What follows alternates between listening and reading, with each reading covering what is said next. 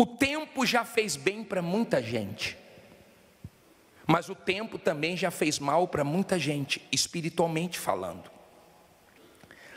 Se você observar, tem pessoas que com o tempo amadureceram, tem outras que com o tempo apodreceram. Tem pessoas que, quando iniciaram na sua caminhada de fé, era uma coisa, hoje é outra totalmente diferente. Agora vamos, vamos pensar. Deus tirou o povo do Egito, das garras de Faraó que simboliza o diabo. Não foi o que Deus fez com a gente? Sim ou não? Nos tirou das garras de quem? Do diabo. Nós estávamos caminhando para o inferno, nós estávamos perdidos e Ele nos libertou. Como libertou o povo de Israel. O povo de Israel passou pelo Mar Vermelho. O Mar Vermelho simboliza o batismo nas águas. Quando nós tivemos o entendimento, a palavra chegou até nós: quem crê e for batizado será salvo, quem não crê será condenado. Então nós pegamos a nossa vida e colocamos nas águas, certo? Ora, Moisés tirou o povo do Egito, foi até o Monte Sinai, lá no Monte Sinai, Moisés subiu, e demorou um tempo lá em cima. Esse período que ele demorou foi suficiente para o povo se corromper. Enquanto Moisés estava no monte recebendo os dez mandamentos, o povo lá embaixo se perdeu. E Deus viu. Moisés estava lá em cima, buscando a lei de Deus para levar o povo à terra prometida, e o povo estava lá embaixo, se inclinando para a idolatria, achando que Moisés não ia mais descer, não ia mais voltar, e fizeram um bezerro de ouro e colocaram no lugar de Deus e disseram: Este é o Deus de vocês agora. E esqueceram tudo que Deus tinha feito. Deus manda Moisés descer depressa, porque o povo tinha se corrompido. Esse tempo da subida de Moisés até a descida dele foi suficiente para o povo se perder.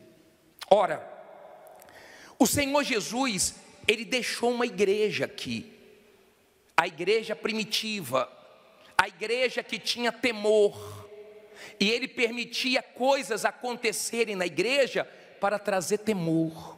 Lembra quando Ananias e Safira quiseram enganar e Deus permitiu que os dois morressem para trazer o que?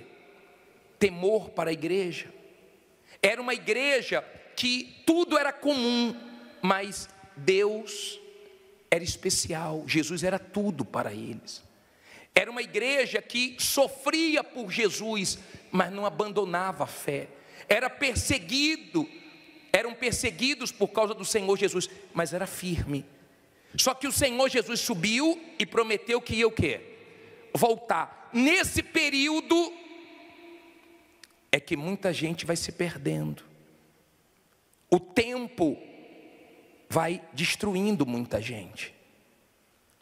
Uma vez eu peguei um espírito e ele disse, a pessoa manifestou e eu fui entrevistar e esse espírito falou assim para mim: Eu sou espírito do tempo. Eu não tenho pressa. Eu espero o momento certo de atacar. O diabo, ele sabe como agir. Tem muita gente que era quente, hoje é fria. E o pior, a frieza dela não está incomodando ela. O pecado dela não está incomodando ela. E isso é perigoso. Tem gente que quando saía do culto, saía cheia de temor, saía pensando na palavra, levava a sério a vida com Deus, mas o tempo passou, tem gente que não ora mais como antes, não é mais dedicado na, na vida espiritual como era. Então você olha para a pessoa hoje e você vê ela bem diferente de quando ela começou.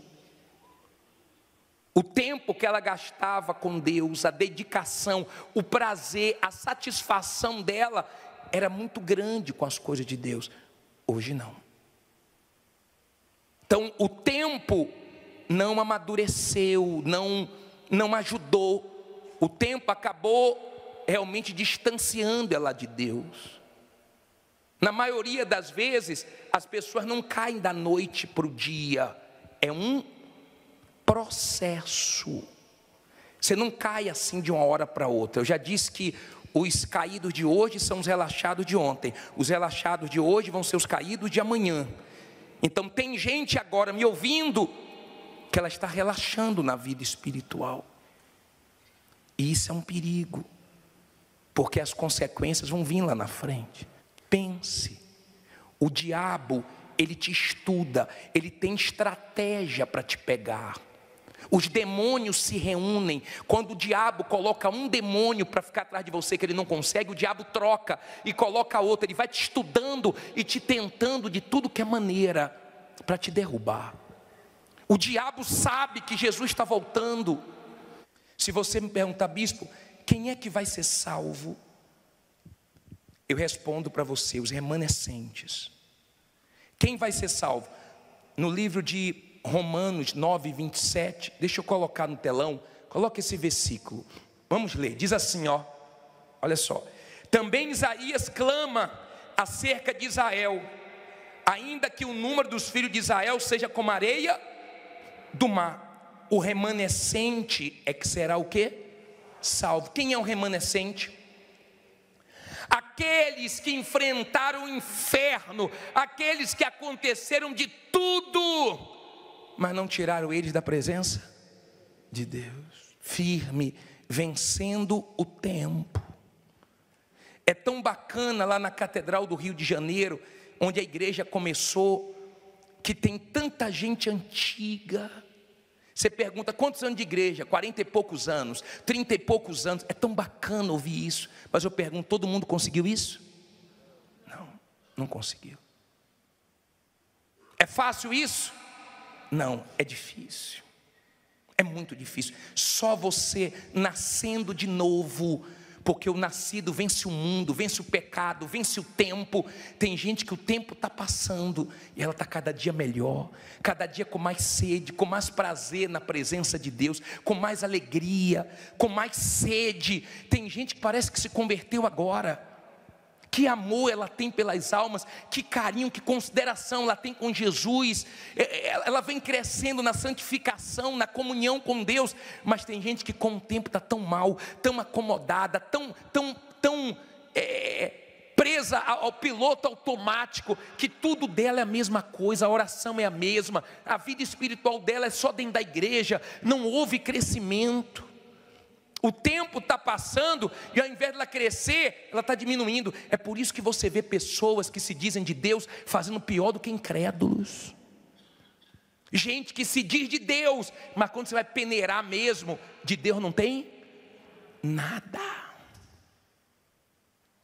O tempo está te vencendo, o tempo está se, te cansando, as coisas de Deus começaram a ser peso para você Cuidado, porque com o tempo o diabo já venceu muita gente.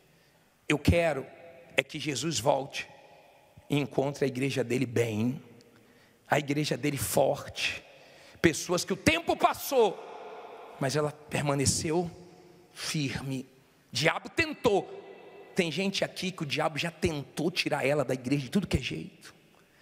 Tem gente aqui que quando começou, ela lembra que o pai perseguiu, a mãe perseguiu, foi mandada embora do emprego. Tem gente aqui que já aconteceu tantas coisas. E o ódio do diabo é que ela está firme.